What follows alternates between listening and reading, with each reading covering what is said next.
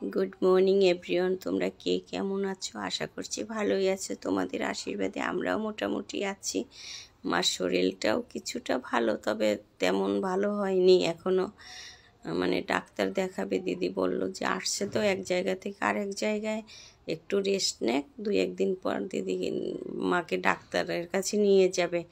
আর একটু এই যে তোমাদের সাথে শেয়ার করলাম মানে এই যে দেখো ভিউটা কি সুন্দর। কৃষ্ণচূড়ো গাছের মানে ফুলগুলো এমন হয়েছে যে পাতাগুলো দেখাই যাচ্ছে না, পুরো লাল হয়ে গেছে।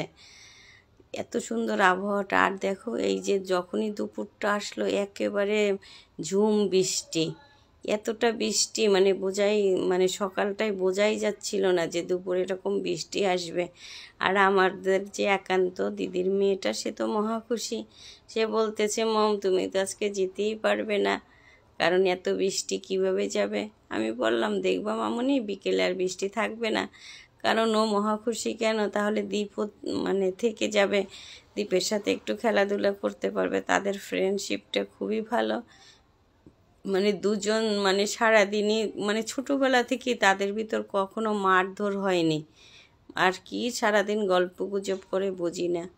এই যে এখন দুপুরে আমি লাঞ্চ করতেছি মানে বেগুন ভাজি খাচ্ছি অনেক দিন পর আমি তো ঠান্ডার সমস্যা, সেই জন্য বেগুন ভাজি খাই না কিন্তু আজকে মনে করলাম একটু খেয়ে নিই।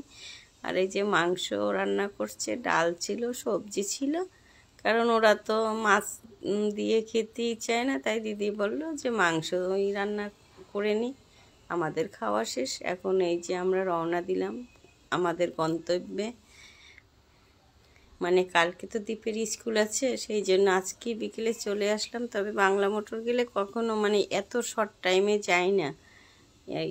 মানে মনে হয় আমার জীবনে এই প্রথম যে একদিন গেলাম, তার পরের দিনই চলে আসলাম। আর সিএনজিতে না আজকে খুব ভালো লাগল, যেহেতু শনিবার রাস্তাটাও ফাঁকা আর আবহাওয়াটাও খুব সুন্দর, বৃষ্টি হওয়ার কারণে আবহাওয়াটাও ঠান্ডা হয়ে আসছে। মানে খুব সুন্দর বাতাসটা দিচ্ছে।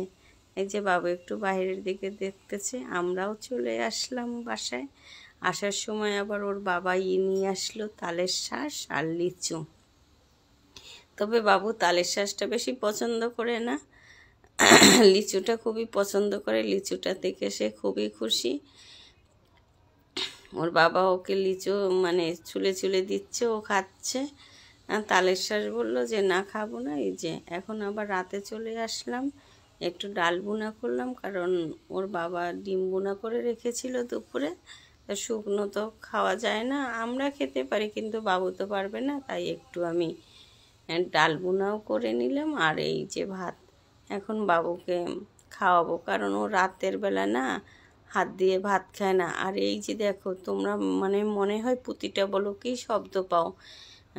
যে আমাদের এখানে একটা বিকট আওয়াজ আসে মানে আমাদের পাশেই একটা বিল্ডিংয়ের কাজ হচ্ছে, ওরা মানে ছাদ ডালাই দিচ্ছে। আর ওদের কাজটা বুঝি না, প্রতিদিন রাতেই করে। তাই এই আজকে একটু তোমাদের সাথে শেয়ার করলাম। এই যে এখন বাবুকে খাইয়ে দিচ্ছি। মানে বাবু তো আজকে মহা খুশি। তার দুটোই প্রিয় খাবার। মানে ডিমটা তো মাংসের চেয়ে মনে হয় সে ডিমটা বেশি পছন্দ করে। আবার ডাল না। আর না, আজকে মনটা খুব খারাপ লাগতেছে। কারণ মা তো অনেক দিন ছিল। মার জন্য খুব কেমন জানি বাসায় আসার পর না খুব খারাপ লাগতেছিল। মা একটু অসুস্থ ছিল। আর মার একটু তো ইসের সমস্যা মানে কিছুই মনে রাখতে পারে না। সারাদিনই মাকে সেই বাচ্চাদের মতোই মানে ডেকে ডেকে খাওয়াতে হয়, ওষুধ দিতে হয়। আগের মতো আর মা নেই। সবাই তোমরা একটু আমার মার জন্য আশীর্বাদ করো। মা জানি একটু আগের মতো হয়ে যায়। খুব খারাপ লাগে মায়ের জন্য। কি আর করা? কারণ ডাক্তার তো দেখাতেই হবে। এই জন্য দিদির কাছে একটু দিয়ে আসলাম। বাবুর খাওয়াও শেষ। এখন আমরাও খেয়ে নেব। কারণ আজকে আর বেশি রাত করব না। আবার কালকে বাবুর সকালে স্কুল আছে। রোববার যেহেতু। বাবু খাচ্ছে। আর বাবুর বাবাকে বললাম, সে বলল যে, না, সে আবার ডান্স বাংলা ডান্স খুবই পছন্দ করে। সে বলল যে, সে ডান্স বাংলা ডান্স দেখবে? আমি চিন্তা করলাম আচ্ছা ঠিক আছে, সে দেখুক। বাবুর খাওয়া শেষ হলে আমিও খেয়ে নেব। আর আমি রাতের খাবারটা বেশি লেট করি না, তবে আজকে সেই লেটই হয়ে গেল। মানে এক জায়গা থেকে আসলে একটু অন্যরকম লাগে। সেই জার্নিটা যতই মানে শর্ট হোক একটু অন্যরকম লাগে, তাই একটু রেস্টও নিয়েছিলাম। এই তো তাহলে আজকের ব্লগটা এখানেই শেষ করলাম। তোমরা সবাই ভালো থাকবে, আমাদের জন্য আশীর্বাদ করবে গুড নাইট।